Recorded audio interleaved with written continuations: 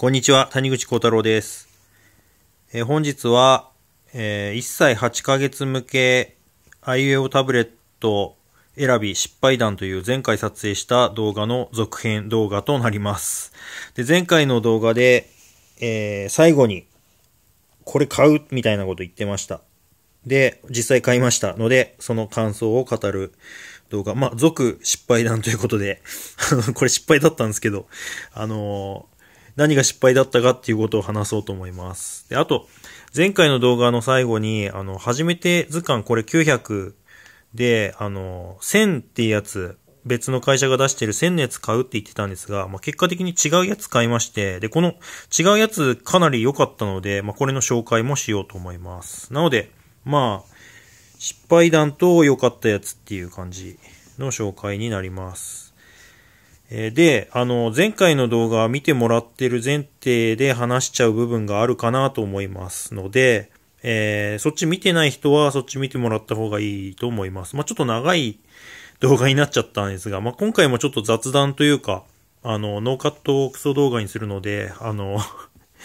ちょっと無駄な話とかもあると思うんですが、まあ、あの、雑談、半分雑談みたいな感じの動画になります。では、えっと、話していくんですが、まずあの、これ、これの失敗談まず話します。えっと、っていうか前回の動画見直したら、なんかなんでこれ買ってんだよっていう感じ がしましたね。あの、最初から失敗してるというか、だからあの、これ悪いものじゃないです。悪い、あの、これ結構いいとは思います。いい商品だとは思うんですが、あの、うちのニーズに合ってないというか、あの、厳密に言いますと、まず、私、IUO タブレット探してたはずなのに、なんでこれ買ってんだっていう。全然 IUO のこの一覧がないっていう、あの、そもそもがま、まず間違ってるっていうところですね。まあ、あの、私 iPad を奪われるのが結構多くて、あの、それもちょっと対策したかったので、まあ、その思惑がちょっと強かったんですね。なので、あの、どっちかというと、これというよりは iPad の代わりに、あの、使わせたかったんですが、結局 iPad の方が魅力的なんで、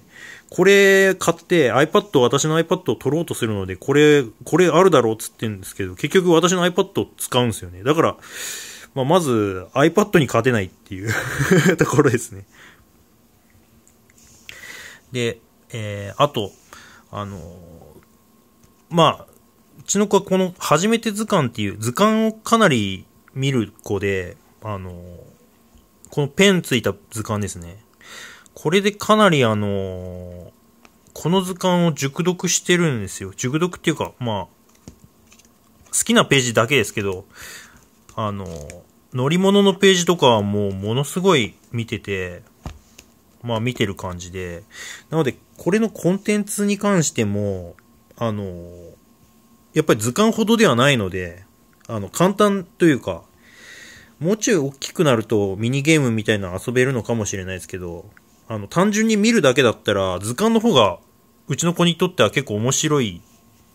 と思うんですね。まあ、普通に見て、見てても思うというか、ここに絵が出るやつ見るより多分こっち、こういうの見る方が面白いと思うので、だからあの自分でこうやって本開いてこういうペンアプリ、ペンアプリじゃないな、このペンで音出せる子は、わざわざこれ、これを与えても、これで遊ぶ時間あったら多分こっちで遊ぶと思うんですよね。だからあのまあ、ススマートフォンとかで遊ぶのに慣れてる子はこれで遊ぶと思うんですけど、普段こう、この図鑑で遊んでる子は多分遊ばないんじゃないかなっていう、まあ遊ばなかったです。で、なので、あの、IAO タブレットじゃないじゃんっていうのと、あの iPad には勝てなかったっていうのと、あとまあそもそも図鑑好きな子が、この中のコンテンツもそんなになんか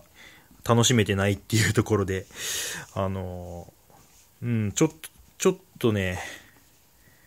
あの、ダメでしたね。うちの子にはちょっと合わなかったっていうところでした。買ったばっかりなんですよね。ほとんど何回かしか使ってないっていう状態ですけど。あの、ちなみにもうこれ封印してるので、あの、まあ、棚に昨日しまったんですけど、もう一回も使われなかったですね。結局。で、えっと、ただ、これ買いに行って良かったことが一個ありまして、あの、これを探しに行った時に子供を連れておもちゃ売り場に行ったんですね。その時に、やっぱりアンパンマンのやつなんで、アンパンマンコーナー、この、アンパンマンキャラクター嫌いというか、アンパンマン系のこのチークガン嫌いな人が絶対にあの、み、買わないであろうこのパッケージというか、あの、この売り場、こういうのがいっぱい並んでる売り場で探したわけですね、これを。で、なので、なかなか怖いというか、あの、なので私の今この動画見てこういう図鑑子供に与えてる人はもしかしたらこの商品知らないんじゃないかって思うんですけど、知ってたらなかなかやるなって感じなんですけど、あの、実は、あの、このアンパンマンおもちゃ売り場にしか売ってないめっちゃいい図鑑があるんですよね。これ、これなんですけど、このおしゃべり動物図鑑と、生活図鑑、もの乗り物図鑑、これ3冊セットで、おもちゃ売り場で売ってて、これ多分本屋さんで売ってないと思うので、本屋さんでしか図鑑探してない人とか、あの、アマゾンとかでも、あの、おもちゃっていうジャンルじゃなくて、本っていうジャンルでしか探してない人は多分見つけられてないんじゃないかなって思うんですが、このアンパンマンの図鑑セットめっちゃいいですよ。これ、なので、あの、今もし知らなくて、こういう図鑑買い与えてて、あの、追加でなんか買いたいなっていう人にはかなりあの、有益、有益っていうか、選択肢増えたと思うので、結構いいこと言えてるかなと。あの、この失敗談だけで終わらなくてよかったなって感じなんですけど、まあ、で、まあ私この商品はもともと知ってて、知った上でこれの線買いに行こう、行くつもりだったんですが、あの、これを買いに行った時に、まあこのパッケージをたまたま売ってるの、店頭で見たの初めてだったので、こう見たんですよ。そしたらうちの子がこれにめちゃくちゃ食いついて、もうこういうとここうやって指さして、ああみたいな。あ、あ、タケノコみたいな。タケノコも乗ってるし、なんか、消防車も乗ってるし、みたいな。で、すごい食いついて、この箱をカチッてホールドしてしまったんですよね。で、まあ、あの、前回の動画で話してますが、あの、ちょっとイヤイヤ期に入っているので、このガチってホールドしたやつを下手に取り上げると、そのおもちゃ売り場でもうものすごいことになってしまうので、あの、まあ、しばらくその自分で自然に手離すまで、ちょっとこう、持たせていたというか、持たせていたんですね。そしたら、あのー、なんというかもう離さないですね。で、あまりに長い間持ってるので、結構これ重たいんですよ。本3冊も入ってるので、本3冊ともペンが入ってるので、結構重たいんですが、な、結構長時間ずっと持ってたんですよね。その、これを探すのに、探してる間持ってたのでなんというか、もうあの、心が動かされたというか、そんなに欲しいならもう、これ、これにしようかみたいな 感じになって、あの、これの線じゃなくて、まあ、こっちを買ってあげたっていう感じになります。で、これのいいところが、あの、明らかにこの900とか、これの1000のやつよりもいいところがありまして、それ何かというと、これ単語だけじゃなくて、情報も喋るんですよね。アルマジロ、硬い甲羅で身を守っているよってこう、一言言うんですよ。で、これがめっちゃ、あの、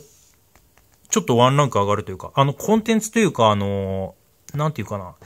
名詞の数でいくと、こっちの900とか1000の方が多分多いような気はするんですけど、その車種っていうか、例えばこういう車の数、車の種類の数とかだと、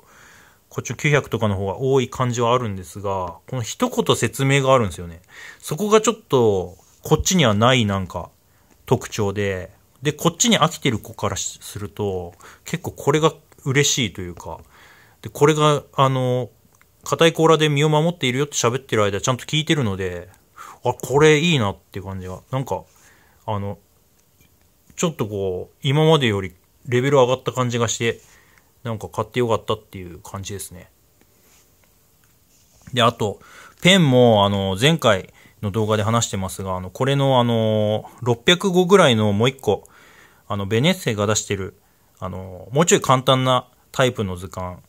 まあ、それは別に、それ自体悪くはないんですけど、ここれが結構、あの、ペンの音がいいんですね。スピーカーの性能がいいというか、この900が良くて、で、これの後に買ったので、ちょっと悪く感じちゃったんですよね。音が、ちょっとこもってるというか、あの、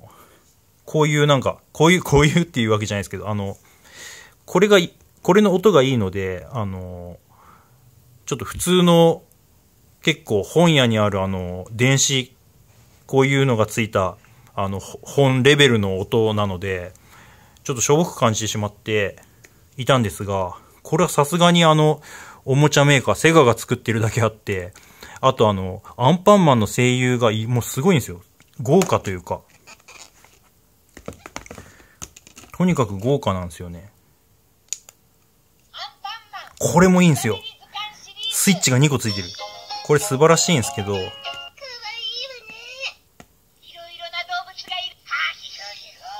て感じで、声優めっちゃ全員使ってるんですよ。アンパンマンに出てくる声優全員使ってる感じで、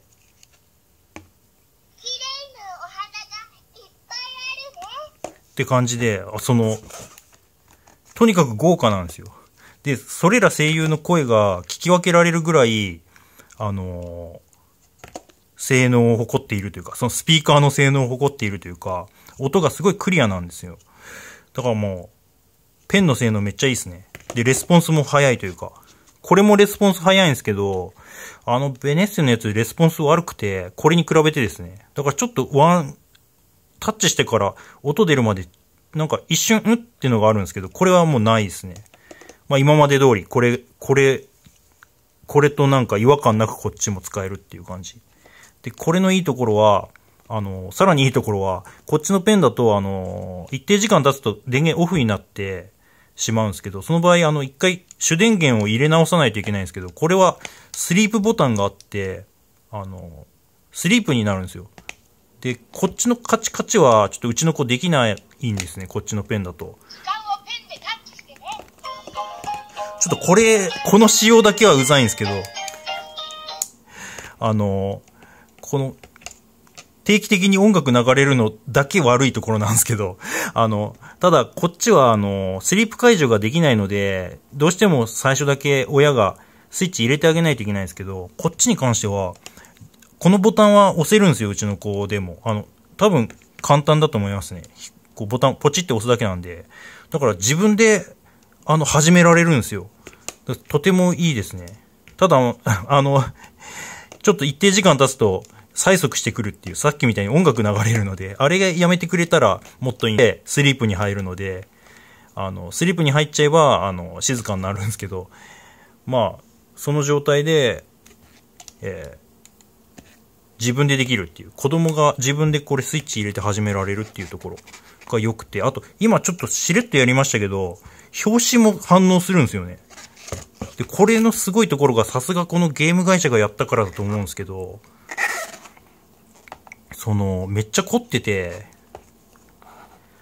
タッチできる、全部タッチできるんですよ。その、い、どういう意味かというと、普通の図鑑、こっちの図鑑だと多分、あのー、こういう、これが、この魚に対して、例えばカニにカニっていうのはまあわかると思うんですけど、こういう横にあるイラストとかって、ただのイラストじゃないですか、普通の図鑑だと。ただこれの場合は、ちゃんとこういう横にいるキャラクターも喋るんですよ。タッチすると。これがね、めっちゃ凝ってて、もう喋らないとこないんじゃないかっていうぐらい。だから、そこが楽しくて、結構押す、うちの子は結構押し、あの、違うところも押し出した、押し出していて、で、このバイキンマンですね。あの、うちの子はやっぱり車のページがすごい好きなので、ここすごい押してたんですけど、バイキンマンが喋ることに気づいて、こう、バイキンマンの声を、あの、聞いてすごい喜ぶっていうか、なんか真似したりとかして、あの、そこもいいところでしたね。その、結構うちの、うちのっていうか、あの、最近話し始めた感じなので、そういう声の真似とか話すのに対して自分からこう声出すようなのを促したいっていう目的も結構あったので、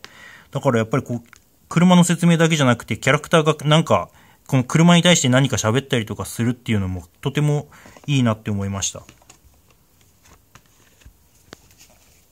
で、さらに、それで今ちょっと急に思い出したんですけど、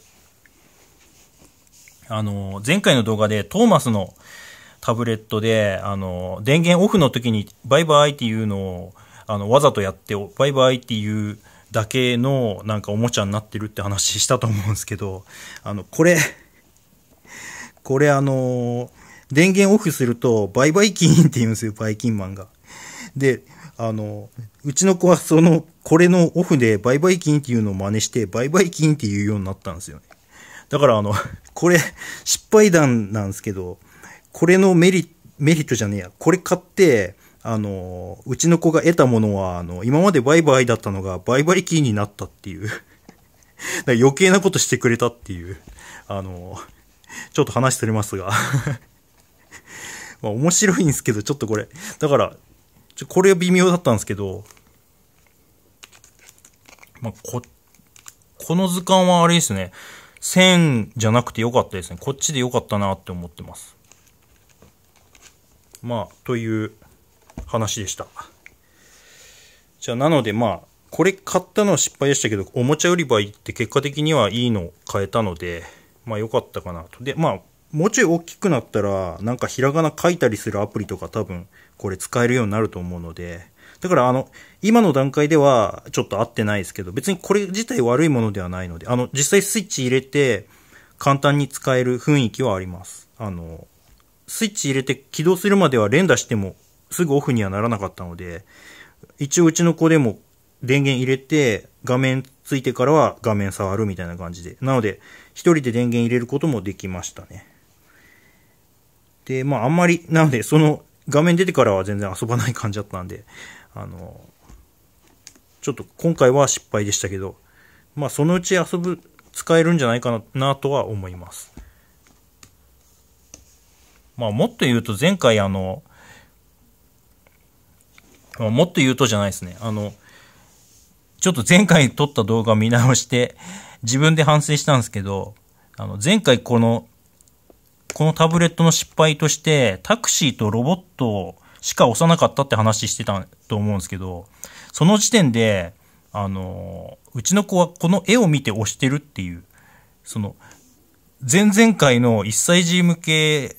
タブレットの選び方っていうので話してたのは、まあ、1歳児向けなので、もっと、今1歳8ヶ月なの、なんですけど、もっと前の段階だったので、あの、ボタン適当に押してたところがあったんですが、今は結構絵を見て押してるので、なので、あの、液晶が実はそんなになくてもいいんじゃねえかっていう風になってきてるんですね。なので、その、このタクシーとかロボットピンポイントで押してたっていうことに着目していれば、なんか別にこの液晶にこだわる必要もなかったので、なんか普通にも、あの、濁点とか陽音のある、あの、なんかやつに すればよかったなっていうふうにちょっと後で思ったという感じですね。なのでまあ、これ失敗だったので、で、ちょっとよく考えると、イラスト見て押してんじゃんっていうところで、もうちょいなんか、あの、液晶にこだわらないで、あの、IAO タブレット、もしかしたら探して買う可能性はまだありますので、まあ、また、もし買ったら、あの、レビューするかもしれないです。まあ、そんな感じで、まあ、図鑑、まあ、ただ、ちょっと、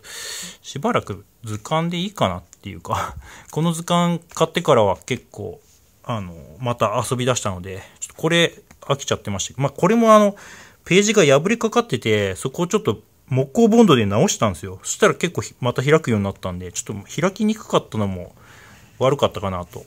思ってます。まあそんなところで、そんなところでじゃないな。あの、まあ、ここですね。ちょっと、ちょっとわかるかなと思うんですけど、あの、こ、こっちの反対側からなんかね、開いてきちゃうんですよね。まあ持ってる人はわかると思うんですけど、そこの隙間にあの木工ボンド塗ってこう、くっつけたらめっちゃがっちりくっついたので、これ結構いい、修理方法としてはかなりいいやり方だと思います。まあ、あの、誰か参考になるかなということでじゃあ、えー、こんなところで、えー、以上です。バイバーイ。